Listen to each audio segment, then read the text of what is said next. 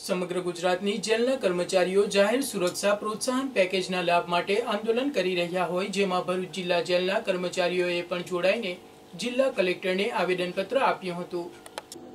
Jail કર્મીઓએ આપેલા આવેદનપત્રમાં જણાવ્યા મુજબ, જાહેર સુરક્ષા પ્રોત્સાહન પેકેજના લાભ માટે ગુજરાત રાજ્યના જેલ ખાતાના કર્મચારી અધિકારીઓને સન્ને ઓગણીસો સડસઠથી પોલીસ ખાતાના કર્મચારી અધિકારીઓના પગાર સ્કેલ મુજબ કેડર ટુ કેડર એટલે કે સ્કેલ ટુ સ્કેલ સરખો પગાર કરવામાં આવતો હતો.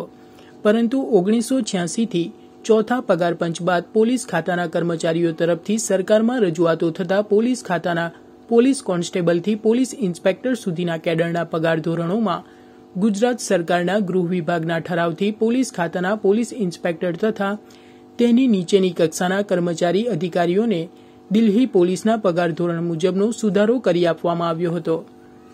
પરંતુ જેલ ખાતાના કર્મચારીઓના પગારમાં તે મુજબનો સુધારો કર્યો ન હતો.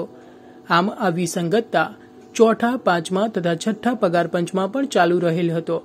સન્ને ઓગણીસો સિત્યાસીથી છઠ્ઠા પગાર પંચ સુધીની પોલીસ ખાતા તથા જેલ ખાતા કર્મચારી અધિકારીના પગારમાં વિસંગતતા રહેલ હતી, જે સરકાર તથા જેલોની વડી કચેરીના અથાગ પ્રયત્નોથી જેલ વિભાગના પગારની વિસંગતતાનો પેચીદા પ્રશ્નનું નિરાકરણ સંદર્ભ એકના પરિપત્ર મુજબ સન્ને બે હજાર ચૌદમાં કરેલ હતું.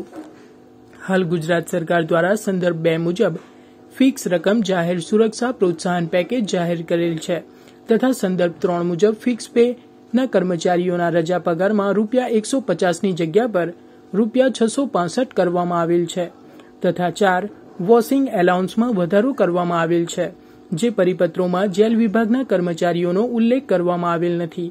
જેથી સનને ઓગણીસો સિત્યાસીમાં થયેલ પોલીસ વિભાગ અને જેલ વિભાગના પગારની વિસંગતતા તરફ લઈ જતો હોય એ સહિતના કેટલાક મુદ્દે જેલ કર્મચારીઓએ નર્મદા કલેક્ટરને આવેદનપત્ર આપી રજૂઆત કરી છે.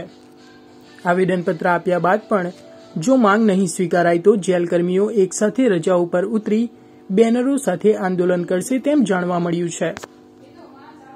મારું નામ રણવીરસિંહ મોહનસિંહ પુનિયારા. હું હવલદાર તરીકે ભરૂચ જિલ્લા જેલ ફરજ બજાવું છું. અમારી મુખ્ય માંગણીમાં તો એવું છે કે અમારો જે જેલ વિભાગ છે એ ગૃહ વિભાગ હસ્તક આવે છે અને જે પોલીસ વિભાગ છે એ બી ગૃહ વિભાગ હસ્તક આવે છે.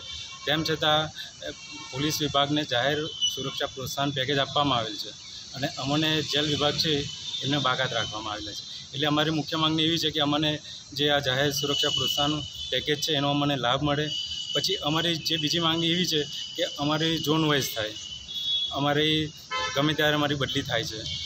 અત્યારે ભરૂચમાં છે, અમે કચ્છમાં બદલી થાય, એવું થાય છે. તો ઝોન વાઇઝ થાય તો અમારે દૂર સુધી નોકરી જવું ન પડે અને અમારું જે છોકરાઓ છે એનું શિક્ષણને બધાને મળી રહે, સારું શિક્ષણ મળી રહે, એ અમારી મુખ્ય માંગણી છે.